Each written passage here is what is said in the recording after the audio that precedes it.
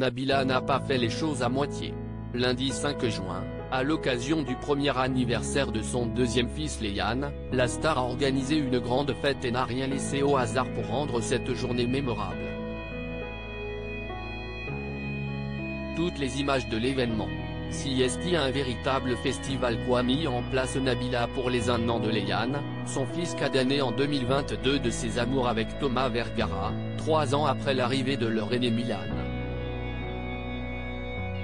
Lundi 5 juin, l'influenceuse aux millions d'abonnés a en effet mis le paquet pour faire plaisir à son bébé en privatisant la Kids Spot Nursery à Dubaï où sur place étaient installées des piscines à boules, des ballons de tous les côtés, des châteaux gonflables mais aussi des toboggans.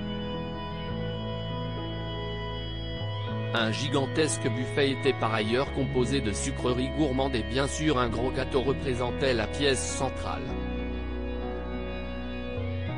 Tout respectait le thème de Cocomelon, une chaîne vidéo en ligne extrêmement populaire qui produit du contenu animé destiné aux enfants. Des activités étaient également proposées aux jeunes invités du jour comme du coloriage, assister à un spectacle de marionnettes ou de la pâte à modeler mise à disposition. Bref, tous les éléments étaient réunis pour que ne passe un bon moment.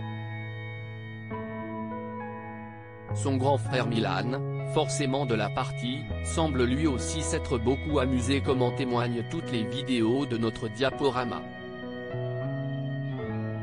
Des premiers anniversaires inoubliables il ne fallait pas en attendre moins de la part des Vergara pour le premier anniversaire de leur fils.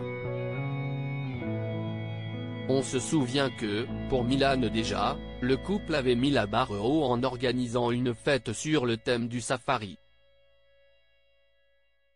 Ainsi, la salle où s'est déroulée la fête était entièrement décorée avec d'immenses animaux de la jungle en peluche. Le petit garçon avait même pu approcher un homme déguisé en gorille ou encore danser avec des girafes. Si Nabil a fait tout pour rendre heureux ses fils, pas question toutefois pour elle de se montrer laxiste sur leur éducation.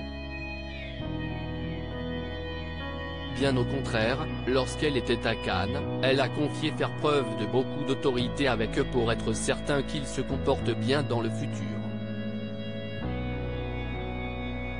Mon mari est très sympa, moi je suis le mauvais flic, il y a toujours un bon et un mauvais. Moi, je suis le mauvais flic. Quand j'arrive, tout le monde est au garde à vous. Avant de sortir de table, on demande, Maman, est-ce que je peux sortir de table? Voilà, la politesse, avait-elle lâché